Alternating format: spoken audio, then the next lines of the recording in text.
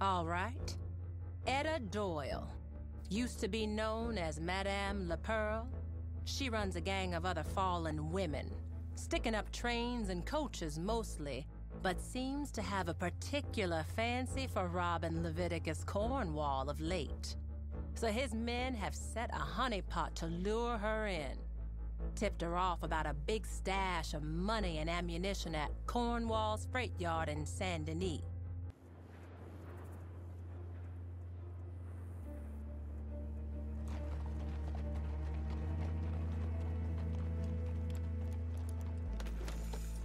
Looks like she only sent one.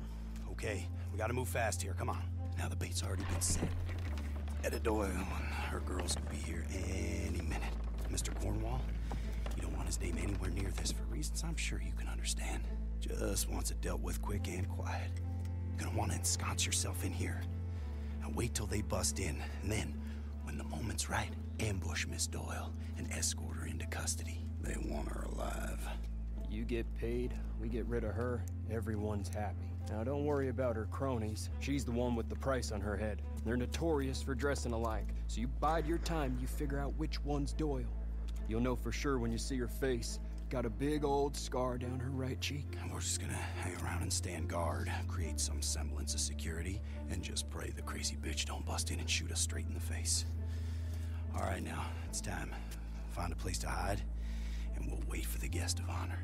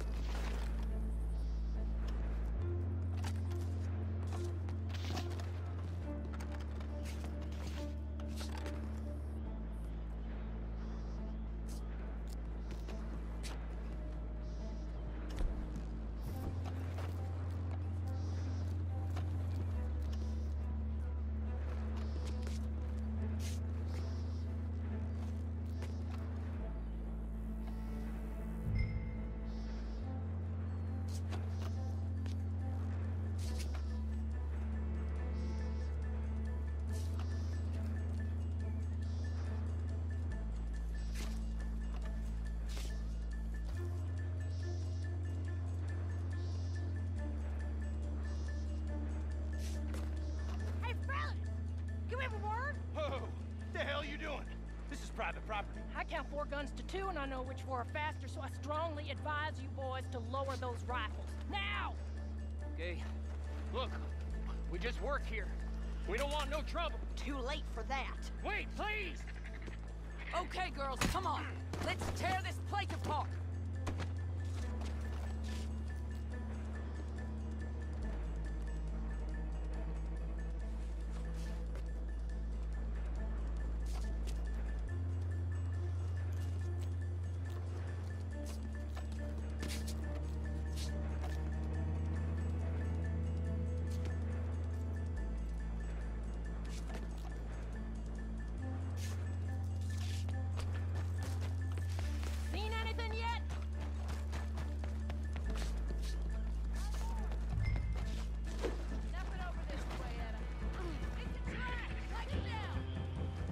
We got!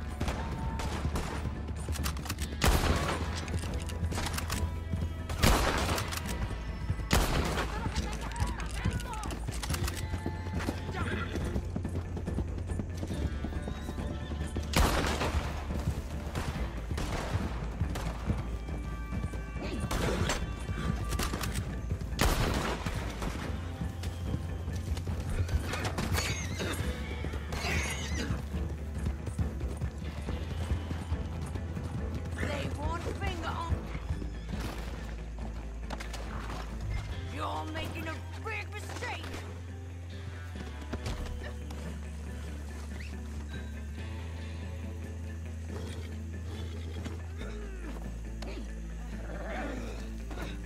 You got the first idea what you're getting yourself into here?